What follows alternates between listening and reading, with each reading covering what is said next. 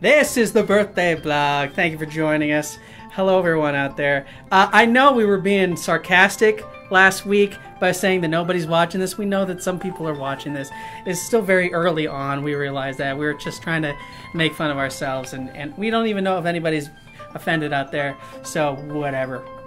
We, I just wanted to say that we do appreciate anyone who is supporting all of this stuff I'm like a Uh, teenager. by by doing a, a finger heart. Yes. Yes. So on with the show. Uh, our birthday today is June the 11th. Happy birthday. Uh, this is the birthday blog. A little bit of comedy, a little bit of history. My name is Cass. I am Ty I. Thank you. And happy birthday, June 11th. We make art based upon birthdays round one, born on this day, June 11th. In the British entertainer category, this hefty comedian who plays Dr. House was born on this day. As a person that loves British culture, uh, you would also recognize him from Fry and Laurie or Black Adder.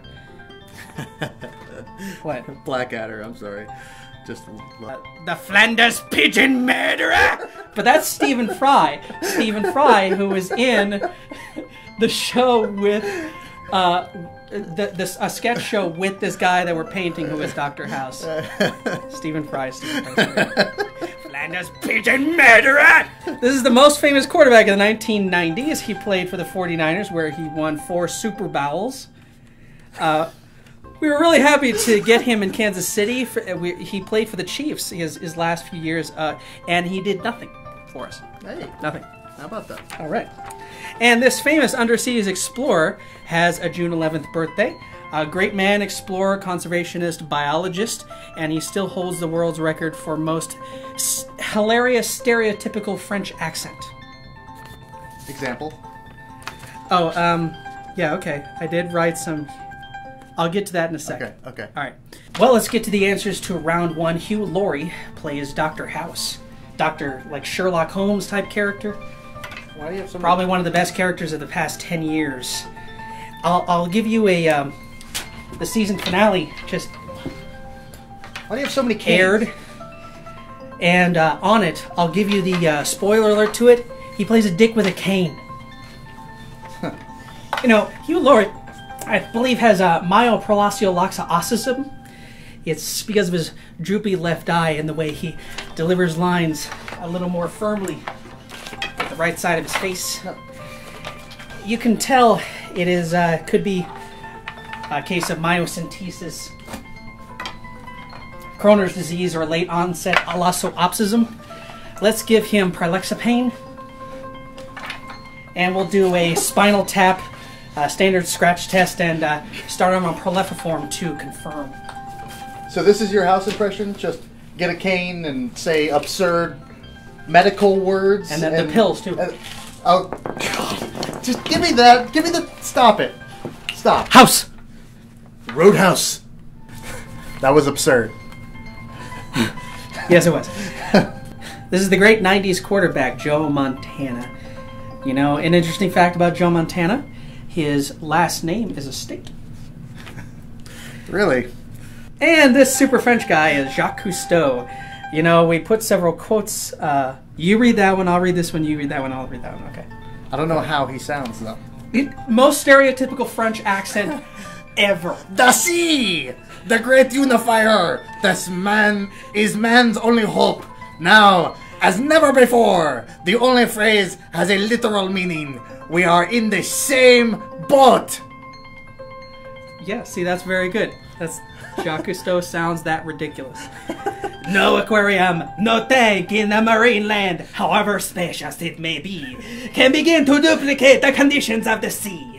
And no dolphin who inhabits one of those aquariums or one of those marine lands can be considered normal. The sea, once it casts its spell, holds one in its net of wonder forever. Dig, dig in wonder a little more. Of wonder forever. It was a little too much, but a lot of people attack the sea. I make a love to the sea. Is that a real quote? No, no, no. He he actually said, "I make love to it. I was exaggerating. I Okay. put in C in there an extra Okay. time. Thank you, Cass. And on to round two, where the questions are a little harder. In the heartthrob category, this American actor and his giant Adam's apple first starred in Holes, which is a great movie. Yes. But of course, he is the lead in the Transformers movies, and we may have to be stuck with him as the new Indiana Jones. Also born on this day, the original Willy Wonka. But he is also the comic genius of three of the top 100 comedies of all time. And if you if you count Willy Wonka, that's four. that's four. Four whole. The producers, being another one, Blazing Saddles and Young Frankenstein. Yeah. And all these comedy duo films with Richard Pryor, like like Silver Streak, Stir Crazy, uh, um, Another You, uh, and See No Evil, Hear No Evil. That's probably the best of them. If you're gonna watch any of them, that that. Uh, With Richard one of Pryor them, yeah, one of them's blind and one of them's deaf, and they they got to do shit together. It's it's it's it's funny because they make fun of disabled people and black people and white people and and and and black people who were blind. just all around, And yeah, all around greatness. yes, yes. And finally, this iconic football coach gave some of the most inspirational speeches in the history of sports. He coached the Green Bay Packers to two Super Bowls uh, victories and never coached a losing season. Uh, his fedora, trench coat, and glasses made him not only iconic, but you can imagine seeing him on the other side Yeah. of the sidelines. How intimidating an image like that! Yeah, would be. and you're you're a coach with like a stupid Logo. logo, or something Yeah. on, and on a sweater. yeah, I- Yeah. and and you're sitting there with your headset, and you look across at that dude. Yeah. You're playing that dude. Yeah, yeah. It's like it's like facing Vader. That's what it's like. Yeah, Yeah. but he was a really nice guy. He's, Yeah. he's not evil. Or, No, no. I mean, We're not saying not that. Apply that. He was a Nazi. He's just. proven. Fact. I didn't know that. Well, let's see the answers. this is It's a good thing he's dead because we just totally libeled him. let's see the answers. This is uh Shalabone. Shal- Shalabone. Shalabone. Shalabone. Shalabone. Shalabone. Shao Fowler? She she Shal- Sheila Sheila Beowulf. Sheila. Sheila Sheila Sheila Boif. Sheila Boif. Sheila Boif. Yes. Sheila Boif. Sheila Bayouf. The original Willy Wonka is Gene Wilder. Uh, he Married was- to Gilda Radner. married to the legendary comic Gilda Radner. Yeah, yeah, pretty cool. She he was married. Right. She she died of cancer. Right. And uh, and received an Oscar nomination for writing, co-writing, uh, Young Frankenstein With Mel Brooks. Mel Brooks, Mel Brooks. pretty impressive. And this legendary coach is Vince Lombardi, Vince Nazi. Lombardi. The yes, Nazi Darth Vader coach Vince Lombardi. End the show. well, everyone, we have more art for this birthday.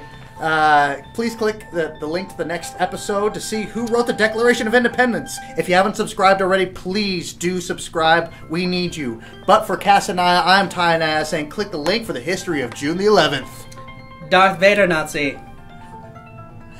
Bowels.